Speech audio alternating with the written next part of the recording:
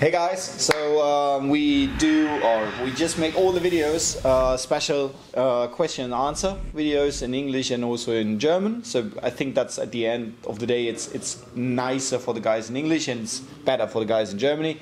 So um, and for us it's also more easy because we just have one language which we choose and um, then it's pretty easy. And I guess my tongue will not broke or break in, in that video. So yeah, cheers to that guy.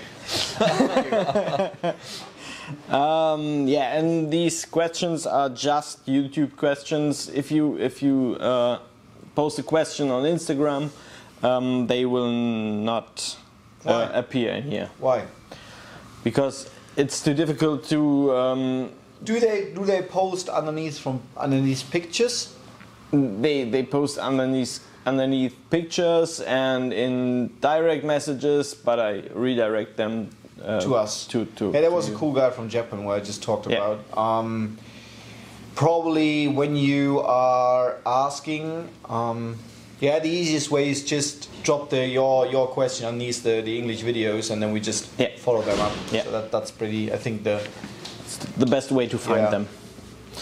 Um, John Wang asks, uh, what are all the dots for? The, to monitor temperature?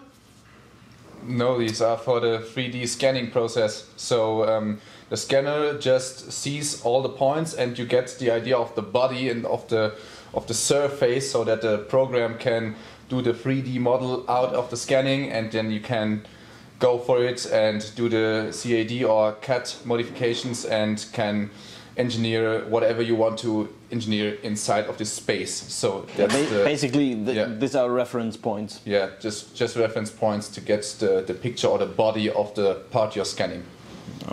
Um, Andrew Panteliev uh, uh, says, cannot wait when we can mount the ITBs. Thanks for the update, great work. Uh, Thank you, thank Andrew. you, Andrew. uh, he was he like one guy who was really fucked up by the German police. I really would say. So Yes. to tell you the truth, it's like I would probably make for that the own video because this was the, the The case was very special and very hard and not fair. It was no, it was not fair at all. It was like he was doing all the best what he can do to solve the problem, and the police guys was okay. Uh, yeah, we we we. You are not allowed to drive further, but okay, this is, this is a different story. story, yeah, yeah. Um, so, um, but he has a great car. yeah, and I think it will be a cool build, but uh, actually we're just starting to get the project rolling to get it in a standard MX-5 ND, um, and this will be also a really cool project, also or and product. So, um, uh, and I think we are the first ones which are that far now uh, with ITBs on the ND. I know there is an English guy, like I mentioned, but um, I think um, we do it at the end of the day different to make it more um, usable for also for street car. Uh, will the new air intake also be uh, compatible with the ITBs? For sure, for sure. The way we do it now um, will be for sure uh, usable in the ITB setup. Yeah. Okay.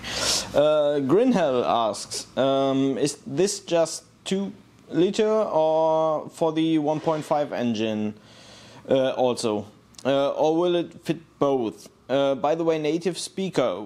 Uh, native speaker? Well done, very well done, sir. Oh, God, God. um, I, I think Adam is, is native speaker. Yes, for Yeah. sure, because he's from Yeah. Great Britain. Yeah. Um, and He's not. is the intake just for the 2 liter or 1.4? No, Five just or- um, actually the way we do it now, it will be usable for 1.5 and 2 liter. I think the airboxes are pretty similar. Um, I know that actually the diameter of the airbox is different on the 1.5 and the 2 liter, but we will not make the whole airbox now new. We will just give it more cold air with kind of a ducting, which goes up to the OEM airbox, so we can connect to the 1.5 and to the 2 liter, and we will have kind of a heat shield which uh, reduces heat to the OEM airbox. Okay. Um, to the 2.5 liter NC, um, Mark Zavanda asks, uh, I'd like to know what it costs to get a 2.5 NC with ITB up to 280 horsepower. Sounds like a perfect amount of power for an NC. Um, I cannot tell you it right off the shelf. I can tell you uh, how much a 2.5 liter without and does he want to have dry sump or wet sump? He- he he has doesn't mentioned. You He want to have hasn't 200. Okay, you want 280 horsepower, and um, I think the dry sump gives that setup about 15 to 20 horses at the top of the ref. So um, I'm not confident that that we will do with the normal cam setup 280, but we can do 270, I guess, uh, with with some matching on the hat and some some more work. But um, for sure, uh, we can make you a pricing, and then it depends on if you want to have a pricing uh, for a shipped engine with the ITB and ECU or fitted. But this is something you can ask us in an email. That's probably pretty easy. Yeah, there we can prepare a special quote.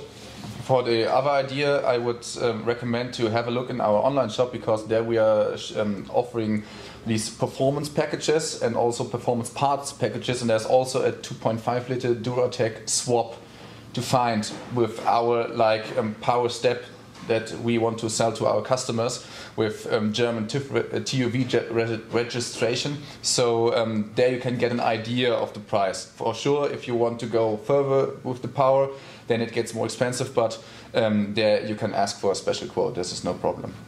Uh, Swift94 uh, says, Good decision to focus more on a broader audience with the English content. As a German follower, I have no problem at all following you, Jan, since you speak very clear and not too fast.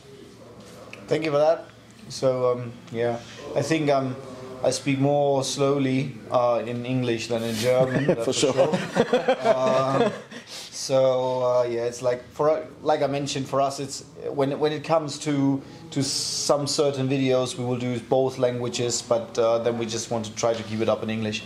I think it was more or less a matter of time that we had to start with English videos in a, in a bigger way than before because the, the customers from other countries are like rising up and um, Just to give an idea, it's it's a quarter quarter. of our sales are not anymore in Germany. Yeah. And so, so 25% just goes out to Italy, Sweden, a lot of Scandinavian. Yeah, yeah. Questions countries, for quotes, for support are getting more and more from other countries. So, for sure, doing vi- videos in English is a good way to to go on there. Yeah. And to grow the community Yeah. over there and also get people over there racing with the MX5 turbos and all that stuff to uh, to give them confidential that, that the MX5 with the turbo is absolutely without any problems usable on track. Yeah, this- reliable. Yeah. and reliable. So this is this is all the time. Uh, if you read in forums and also in Facebook, it's all the time the same. The people saying, yeah, you can use an MX-5 on track, but when you turbo it, it will be get like, whoa, too many problems. And I, I really cannot agree that Not there are. all. I would say there are some minor things which you have to check, but when we did the, the, the build up properly and you, you check for everything, you just can use it because we have customers who just use it on street and sometimes they just come on track and use it and just go backwards. The car drives always. It's no no failure, nothing. Yeah. Uh, Sven R says, looking forward to the 727 project. Looks rad.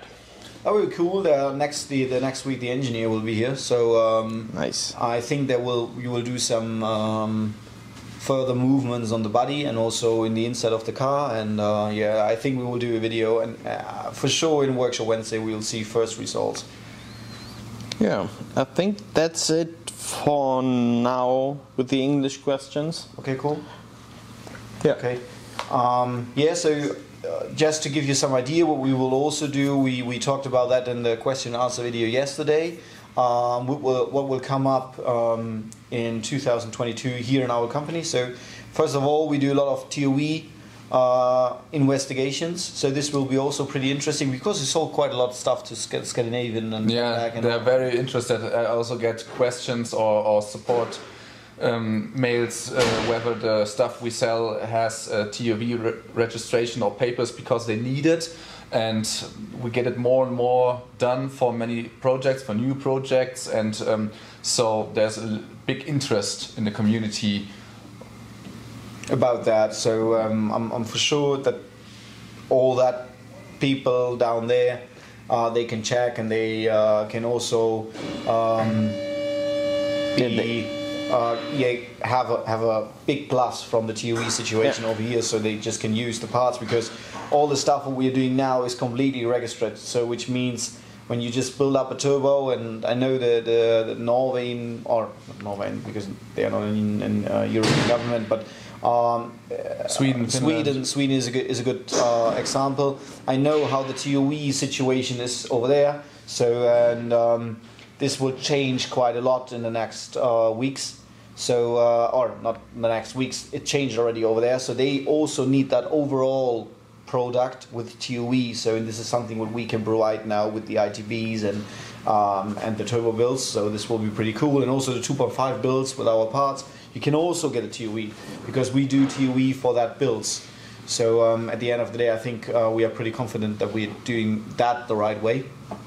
Um, on the other hand, um, I'm also sure that these countries over there, we probably visit them once because I want to go one time to Gutterbill, and probably when, when the community is crowed over there also, um, we see some guys over there. Uh, but back to the main theme, what we're doing in 2022. So we have the TÜV situation, and but we also will invest in a lot of project featuring and focusing uh, videos. So which means at the back of the time it was like okay, Jan or Guido sitting there 20 minutes and we're just talking, which is a pretty easy video for us and um, easy probably for you to watch. But it's it's not like you're sitting there say, hey, this is a this is a plus for me to watch that video. So um, our idea is basically to you see a project, you see how we build the project, you see problems which we have in the project, you see how we solve the problems, you see what we investigate, how we tune, how we make the TÜV, all that stuff will be shown in videos. Um, we will do some interesting parts that we say we, we do a lot of, of weight uh, measurements on MX5s, like say 1.6, 1.8, 3 liter, 2.5 liter V6, um, DND, DNA with a V8. So all that stuff will be uh, will be checked, and we, we show people how we build that cars and how we make that. So that's pretty cool. And um, yeah, so uh, we want to to give their longer uh, a, a longer part of a few to a build, which we are doing. Uh, yeah, so and there will be another cool thing, which is probably also interesting for the English content. Uh, we are looking for, let's say, like a project which we are just building up for YouTube. Um, everybody knows that we are pretty familiar with Mazda, so we would not invest into a different brand. So they came up the idea to say, okay, let's buy buy a Volkswagen Golf or whatever. We would not do that because there are too many videos out there. So uh, we want to build up a Mazda for a certain Purpose. purpose. Uh, let's say uh, we use a Mazda 2 or we use a, a Mazda 323 or um, um, was also interested or a Mazda RX-8. So this were cars because I want to have a car which is just basically something around maximum 5,000 euro and you invest a certain amount of money and then you get that lap time or you, you can do this competition or whatever. So probably you have some ideas and you just drop it in the comments below say this is an idea for a car which you would use um, and then we just go further and say okay we because then we would make a complete video series uh, searching car buying the car getting the car to us which is probably pretty funny for some of you out there because uh, like you and yeah the english guys have mentioned it before but most time we buy the cheapest car in the web so which means they just have problems so um, Big and, problems. Yeah. Uh, yeah, we just get them over here, we disassemble them, or we, we check them, and then we go from this point. So I think I'm pretty confident that it will be a cool YouTube video series. And yeah, if you have some ideas what we should use and which purpose we should go, um, just drop it in the comments. So thank you for watching the English content and uh, see you in the next videos. Bye.